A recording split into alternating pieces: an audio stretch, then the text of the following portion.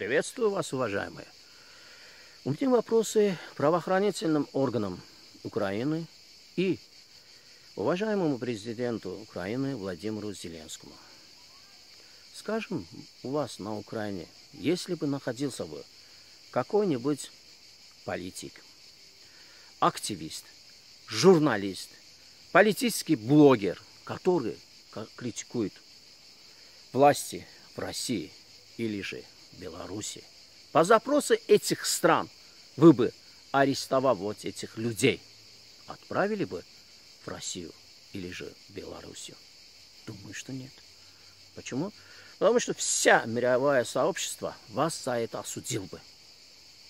Почему тогда вы так несправедливо поступаете с азербайджанцами? Наверняка наши некоторые зрители не знают, о чем идет речь. Я напомню. В 2019 году, 12 декабря, среди белого дня в Киеве пропадает наш брат, политический блогер Эльвин Исаев. Через некоторое время мы узнаем, что он уже находится в азербайджанской тюрьме.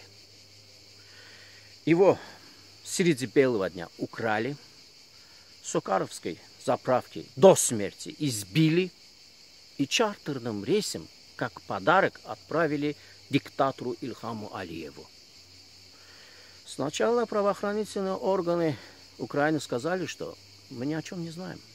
А потом через некоторое время сказали, да, мы знаем, и мы помогли его отправить в Азербайджан.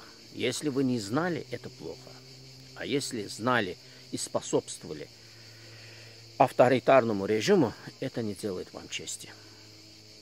А буквально недавно тоже на Украине арестовали другого политического блогера Максуда Махмудова. Типа азербайджанские власти завели ему уголовное дело. Вся мировое сообщество знает, что в Азербайджане нет правосудия. Все судьи заказные. Власть стоит над законами. Активистам, политическим деятелям, блогерам, журналистам заводит уголовные дела, те, которые критикуют азербайджанские власти. Кто-то кого-то избил, у кого-то нашли наркотики, у кого-то дома нашли автомат, или в гараже танк, БТР.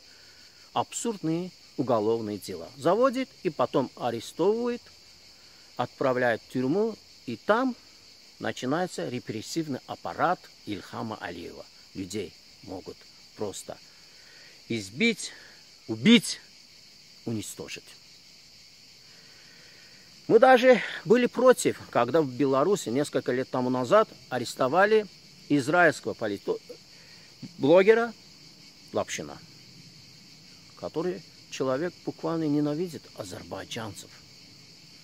Он типа считает себя израильтянином, потом говорит, у меня есть украинский паспорт и российский паспорт.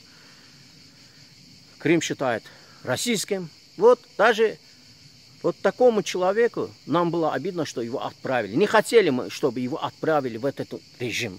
Потому что, я повторюсь, этот режим просто уничтожает людей. А почему Украина, Украина, которая стремится к общей европейской семье, которая считается демократической республикой, способствует, помогает авторитарному режиму, вот этому гангстеру, палачу Ильхаму Алиеву. Уважаемые, наоборот, демократические режимы должны помогать и оппозиционерам, журналистам, политическим блогерам, активистам, которые борются за свободу, за демократию, за права людей. А наоборот, те режимы, которые способствуют, помогают авторитарным режимам, это просто плохо. Потому что они, они не заслуживают уважения.